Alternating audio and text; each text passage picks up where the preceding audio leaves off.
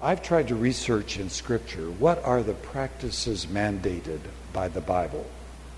And uh, I may not have a complete list, but this is what I've come up with. Prayer seems to be essential. Pray all the time without ceasing. The Lord's Supper, that's a practice that we're asked to do.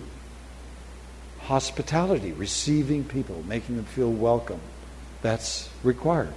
Fellowship, not an option. And then Sabbath, I'll come back to that. Mutual service, we have to do that. Mutual service. Mutual confession, oh boy, that's a biggie. Mutual submission, that's even bigger. And thanksgiving.